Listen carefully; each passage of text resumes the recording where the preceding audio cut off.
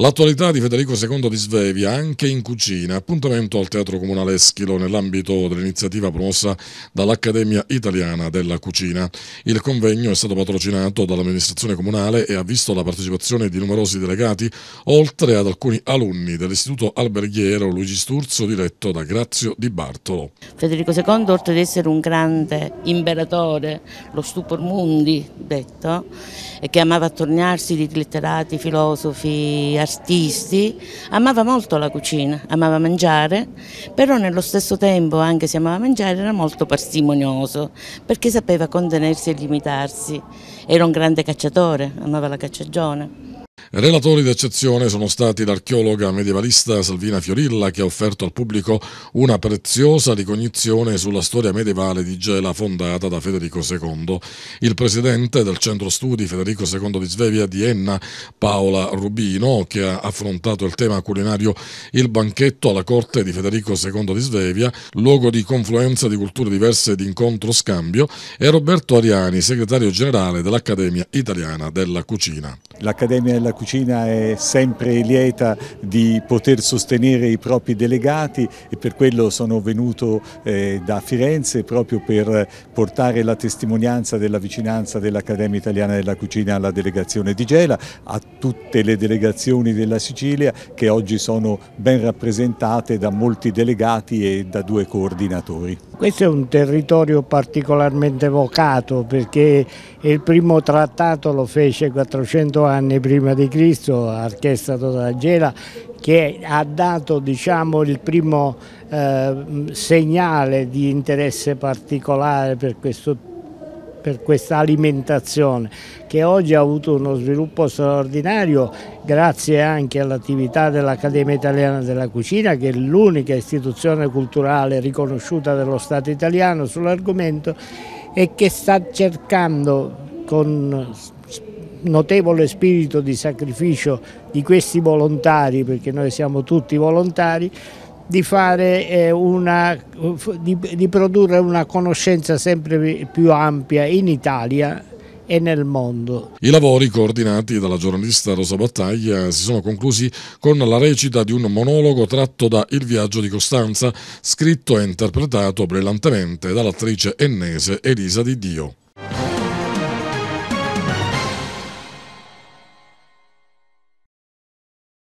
Un uomo amato, chiamato inviato, è il tema della mostra dedicata fra Rocco Quattrocchi che si tiene nei locali del Salone Parrocchiale della Chiesa Maria Santissima delle Grazie di Gela in occasione del primo anniversario della scomparsa del sacerdote gelese.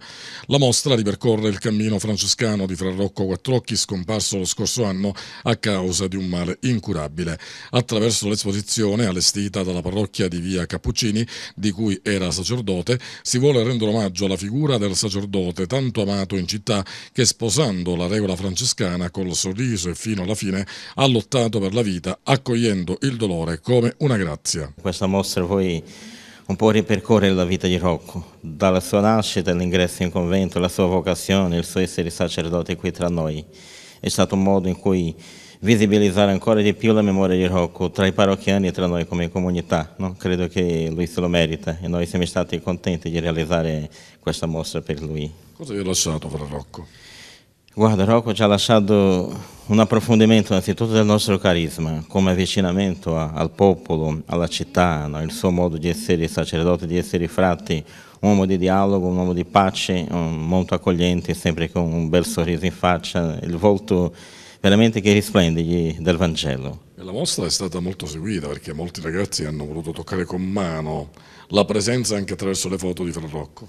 Sì, perché anche è stato non solo un ricordo, ma un rivivere certi momenti. No? Rocco è stato il suo sguardo, gli incontri eh, che ha vissuto con tanti parrocchiani, eh, non solo ripercorrere la sua vita, è stare un po' con lui, possiamo dire, in tutto ciò che ha, ha fatto in questa realtà cappuccina nostra qui a Gela.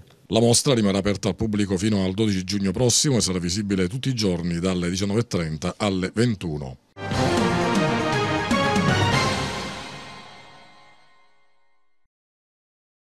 Evento di chiusura del progetto Navigando approdiamo nel Golfo di Gela alla scoperta del nostro territorio al comprensivo Giovanni Verga rivolto agli alunni delle classi quarte e quinte e della scuola primaria. Il progetto si inserisce fra le attività curriculari programmate nell'ambito del POF che hanno trovato il necessario sostegno economico nel finanziamento regionale di cui la scuola ha beneficiato. Legati per crescere sono stati realizzati diversi laboratori tra cui ceramiche d'arte Viviamo la città da protagonisti. Attraverso la storia e il racconto di miti e leggende, visite guidate al museo e ai siti di interesse storico, archeologico e ambientale, gli alunni sono stati condotti in un viaggio che ha risvegliato in loro l'amore per Gela e che li ha portati a conoscere le radici delle usanze e delle tradizioni locali. I laboratori sono stati tutti ben eh, sviluppati e portati a termine, eh, partendo eh, dal laboratorio appunto della conoscenza e quindi proprio eh, della conoscenza diretta, della visita ai siti eh, della eh, peculiari e importanti della nostra città per la conoscenza e la valorizzazione degli stessi, rispetto ai quali poi eh, abbiamo proceduto con un lavoro eh, di cucitura e quindi di eh, rappresentazione dello stesso territorio attraverso eh, la fruizione, quindi la creazione di un nuovo laboratorio di ceramica eh, nel plesso di Via Caviaga e così attraverso un laboratorio di drammatizzazione realizzato appunto da delle classi quarte e quinte, laddove le quarte hanno più eh, valorizzato e approfondito i temi che riguardano il folklore e la tradizione e le quinte invece i temi che riguardano l'ambiente di oggi e quindi l'inquinamento o eh, piuttosto che lo sviluppo economico del nostro territorio. E, ehm, il tutto ben inserito anche in un'altra cornice che era quella del fare notizia o meglio della trasparenza, quindi eh, rispetto al tema della legalità che è il filo conduttore del progetto. In occasione della giornata di chiusura è stata presentata la stampa del giornale d'istituto Legati per Crescere, strumento di narrazione e testimonianza di tutte le attività didattiche curriculari ed extracurriculari sviluppate durante l'anno scolastico sui temi della legalità, della conoscenza e della valorizzazione del territorio sui valori di un'educazione improntata alla tutela della salute e alla salvaguardia dell'ambiente, ispirata ai valori dell'intercultura, della solidarietà e dell'accoglienza.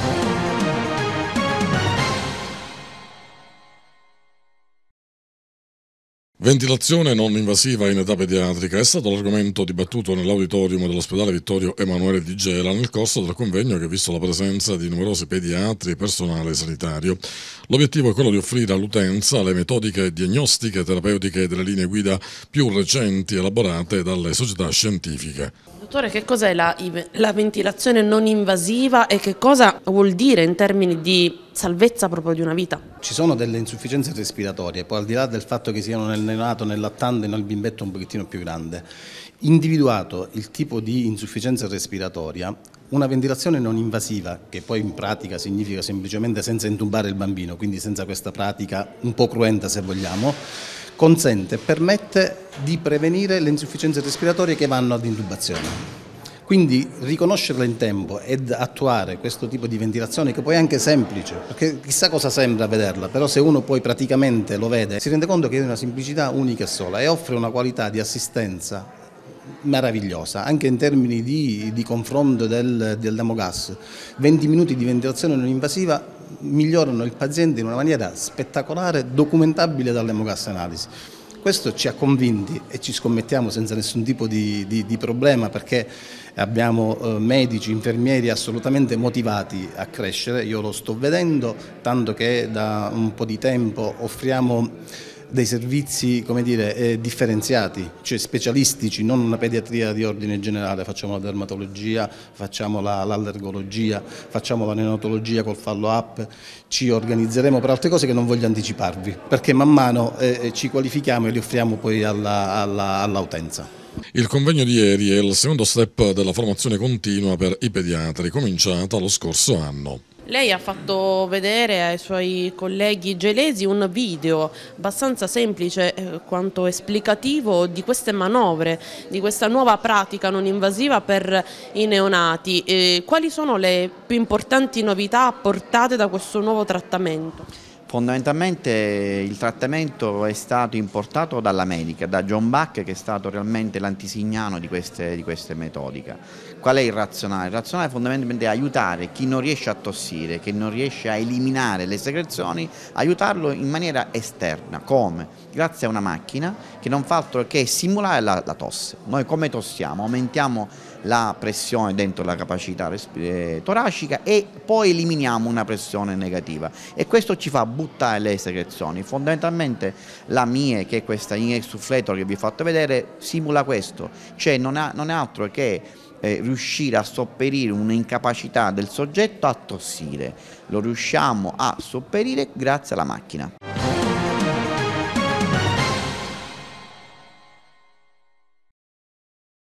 Il piano di riordino della viabilità nel centro storico di Gela continua a far discutere. Ieri il comitato di quartiere dello stesso centro storico ha evidenziato alcune problematiche che interessano la zona. Il riferimento è alla ZTL. I residenti del corso Vittorio Emanuele e della via Bresmes, cioè quelle vie interessate al provvedimento della ZTL e anche della nuova viabilità, hanno manifestato le loro perplessità per non poter raggiungere le proprie abitazioni eh, durante eh, l'orario di ZTL, soprattutto perché si protrae fino alle 3 del mattino. Quindi c'è una richiesta forte da parte dei residenti di poter eh, raggiungere le proprie abitazioni per sostare brevemente e, e per il carico eh, e lo scarico di merci, suppellettili, tutto quanto altro eh, può servire a una normale eh, via. Eravamo d'accordo per una ZTL con un orario decente settimanale, che poteva essere aumentato nel fine settimana, ma tutti i giorni fino alle 3 di notte eh, diventa insostenibile. Il comitato di quartiere avanza alcune proposte all'amministrazione comunale. È nata anche l'esigenza da parte di tutti i residenti del centro storico di eh, cancellare queste eh, benedette micro aree per eh, la sosta gratuita dei residenti e trasformarle in macro aree, cioè avere la possibilità in ampie zone di poter eh, parcheggiare. Un'altra richiesta che è venuta, è venuta, fuori è quella della verifica delle, delle, strisce blu perché in centro storico esistono soltanto strisce blu con pochissime strisce bianche e anche dell'occupazione eh, abusiva tra virgolette da parte degli automezzi comunali che sono disseminati in, eh, lungo tutto il tragitto di, delle strisce blu impedendo a, agli altri di poter sostare tranquillamente. Lo stesso comitato di quartiere attende ancora di avere un incontro con il sindaco per i temi che interessano l'acqua, la pulizia, la manutenzione e la sicurezza.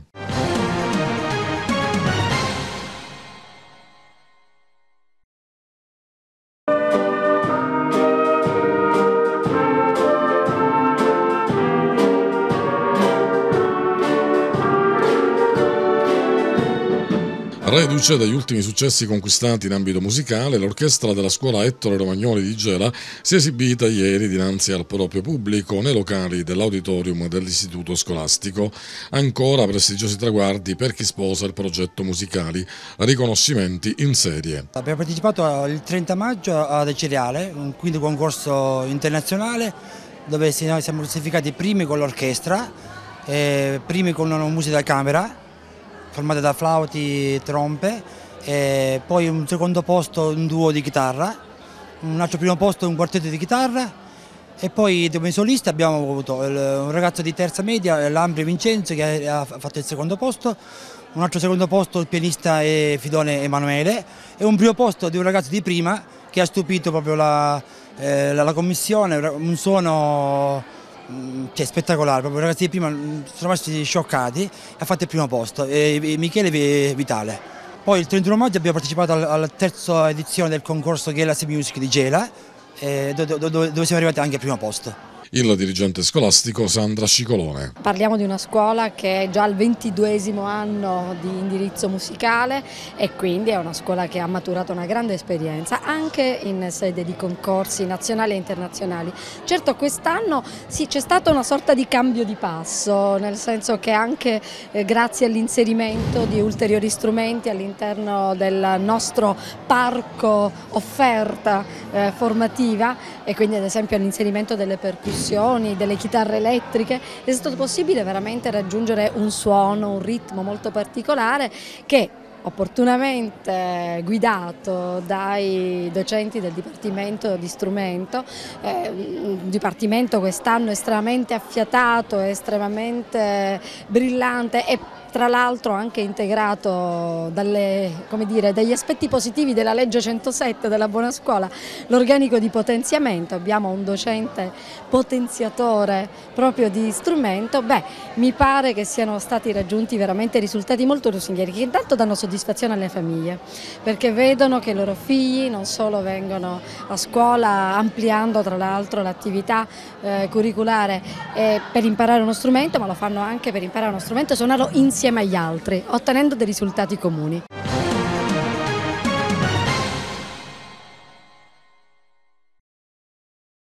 È stato celebrato ieri il 199 annuale del Corpo della Polizia Penitenziaria presso la casa circondariale di Contrada Balate a Gela. Una cerimonia sobria ed elegante che ha registrato la presenza delle massime autorità locali, civili e militari. 199 anni di storia, di, di valori, di orgoglio, di onore, di servizio al servizio della nazione ed è straordinario, straordinario perché gli uomini continuano ad avere passione, continuano ad avere motivazione, continuano a trasformarsi perché seguono l'evoluzione che la società italiana nel corso del tempo ha avuto fino ad oggi. Siamo molto contenti, siamo molto felici di dedicare questa giornata a tutti i poliziotti penitenziari, alle famiglie che condividono onori, gioie, dolori, tanti dolori. Una, un ricordo va ai pensionati e ai caduti della polizia penitenziaria nell'adempimento del dovere. Oggi siamo qua a, ad esaltare il blu delle nostre divise. Lei che cosa si augura per questo corpo nel giorno del compleanno, il 199esimo? Lunga vita, lunga vita al servizio del Paese, lunga vita eh, nella contribuzione alla sicurezza delle città in cui le istituzioni penitenziarie insistono e lunga, lunga vita anche per quel concetto importante di condivisione. È una tradizione storica molto importante al servizio delle strutture, in particolare della casa circondariale di Gela che molto ha dato a questo territorio. Molto ha dato e molto conta di dare, è un prezioso contributo, in realtà tutto si dà e molto si riceve, la partecipazione anche alla festa è significativa, ci sentiamo parte come grande condominio della città, vorremmo essere anche un condominio produttivo. Sindaco, la casa circondariale di Gela, ormai attiva da diversi anni, una struttura di cui eh, la città aveva veramente molto bisogno, i risultati sono arrivati, sono eh, davvero straordinari, questa è, delle, è, stata considerata una delle strutture più virtuose d'Italia. Avere questa struttura nel nostro territorio dove fra le altre cose ospita persone anche del, del, territorio, consente di poter avere una maggiore vicinanza agli affetti mentre eh, le persone scontano la pena nei confronti della collettività. Quindi è una struttura importante, una, struttura di rieducazione importante, una struttura che devo dire si è fatta valere e sono sicuro che si continuerà a fare valere a livello sia regionale ma anche a livello nazionale.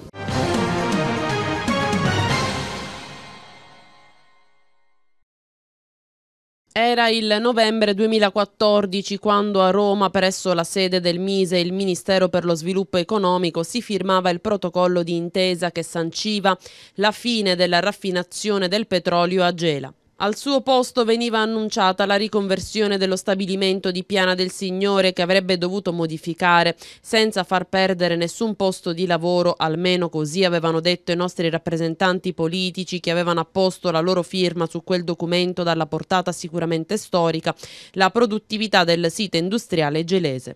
Niente più petrolio da lavorare, niente più raffinazione e niente più devastazione del territorio con il pesante inquinamento portato da quella petrolchimica. Ma da quel lontano 6 novembre 2014 di tempo ne è passato e dalla devastazione del territorio con la fabbrica del cane a sei zampe in marcia si è passati alla devastazione economico-sociale di un'intera comunità. La chiusura dello stabilimento infatti ha portato in questi lunghissimi 18 mesi allo sconvolgimento del tessuto economico-finanziario della della città. Licenziamenti, disoccupazione drammi sociali sono stati all'ordine del giorno. L'ultimo dei quali riguarda l'operaio della SMIM Matteo Guerrei che per disperazione, visto che non percepisce la cassa integrazione da oltre otto mesi, si è asserragliato in cima ad un pontone della sua ex ditta. Ieri finalmente dalle parole si è cominciati a passare ai fatti. La Green Refinery non è più nel libro dei sogni. I vertici nazionali di Eni sono venuti a Gela a dire che è stato assegnato l'appalto alla ditta americana Forster e Wheeler per la costruzione dell'impianto di bioraffineria Green. Ci vorranno altri 12-18 mesi per poterlo vedere in funzione ma intanto è stato definito che a lavorare sul cantiere che costruirà il più grande impianto di green raffinery d'Europa saranno soltanto maestranze locali. Una boccata d'ossigeno per la sfittica economia gelese. E poi la conferma che Eni non ha alcuna intenzione di abbandonare il sito di Gela e che il colosso energetico italiano vuole invece puntare decisamente sul polo industriale di Gela.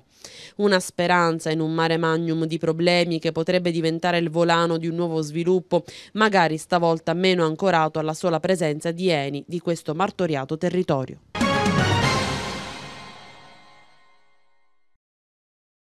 Nell'agosto del 2014 Matteo Renzi venne a Gela per dire che nell'arco di pochi mesi in Italia dovevano chiudere cinque raffinerie e Gela faceva parte di questo lotto. In realtà dopo due anni e mezzo ha chiuso solo Gela. Come mai? No, io questo non lo so e non riesco a commentarlo, quello che, che, che diciamo le affermazioni del nostro Premier. Eh, oggi Gela non ha chiuso, oggi Gela rilancia, Dire, come abbiamo visto che una, una, una, raffineria che perde eh, ogni anno importanti, importanti diciamo, soldi, oggi in realtà si è trovato il modo di poter rilanciare questa attività. Quindi non la guardiamo come qualcosa di, di chiusura, guardiamolo verso un futuro, un futuro che è sempre più green, un futuro che non ha solo la raffineria, ma anche altri progetti molto importanti per il territorio. Il 6 novembre del 2014 a Roma lei c'era quando si firmò quel protocollo? Non c'ero. Vabbè, però conosci i termini di questo protocollo in maniera ne pedissequa, ho, no? Ho copie in tutte le stanze della mia casa. Ecco, quello che le voglio chiedere però non è se lo conosce bene o no il protocollo, è che allora i nostri rappresentanti locali, politici, che firmarono quell'accordo, ci dissero in pompa magna che non si sarebbe perso un solo posto di lavoro. Siamo nel giugno del 2016 e qui c'è gente che si arrampica sui tralicci perché non ha più il lavoro, quel lavoro. Beh, io non voglio commentare, eh, entrare nell'ambito delle, delle, situazioni che sono legate ai, all'editto agli appaltatori. Eh, noi qui abbiamo, come dicevo in precedenza, rispettato gli impegni che erano scritti su quel protocollo. Il protocollo indicava 900 risorse dell'indotto che avrebbero dovuto lavorare nel 2015 e ne hanno lavorate 1062. È chiaro che eh, se noi guardiamo a 20 anni fa l'indotto aveva una dimensione diversa, guardiamo, ribadisco, al presente e al futuro. In questi momenti, come sostegno di, diciamo, per quelle risorse che eh, non riescono oggi a trovare un'occupazione ci sono degli ammortizzatori sociali, dei, dei, sostegni, dei sostegni al reddito. È chiaro, ribadisco, che qui comunque non dimentichiamo che stanno lavorando 1250 persone. Nella ottica strategica mondiale di Eni, Gela cosa rappresenta? È un punto molto importante, un baricentro di attività, eh, avete visto, non, non, abbiamo parlato soltanto di attività industriali ma abbiamo parlato anche di attività di formazione, abbiamo parlato di attività di tattiche, abbiamo progetti di importanti di ricerca e collaborazione università per cui noi crediamo in Gela. Noi siamo convinti che questo percorso potrà portare addirittura più lavoro a Gela, perché non sarà più dire, un lavoro magari focalizzato solo su un'industria un o solo su una tipologia di attività, ma domani avremo un territorio eh, diverso con più aziende e poi fatemi dire, no? con aziende più moderne che rispondono di più a quelle che sono le esigenze cioè, del mondo contemporaneo. Cioè oggi avere una green refinery è ben diverso rispetto ad avere una raffineria tradizionale anche in termini di prospettiva. Ci saranno ancora altri 18 mesi, cioè da quando entrerà in, eh, in avvio la Green Refinery, che bisognerà tirare la cinghia e stringere i denti? Ma io direi proprio di no, perché già oggi ci sono centinaia di lavoratori delle imprese che lavorano all'interno del sito. Altri lavoratori verranno ovviamente chiamati per lavorare nei prossimi mesi e quindi come dire, sono convinto che eh, cioè non, non, nascondo no, sicuramente una certa sofferenza da parte del territorio territorio, ma tutti i progetti di cambiamento portano delle sofferenze. Però noi stiamo, stiamo cercando di gestire queste, eh, questa trasformazione cercando di salvaguardare al massimo proprio le maestranze e proprio dire, tutte le attività imprenditoriali che a Gela ci sono, alcune delle quali di grandissimo valore.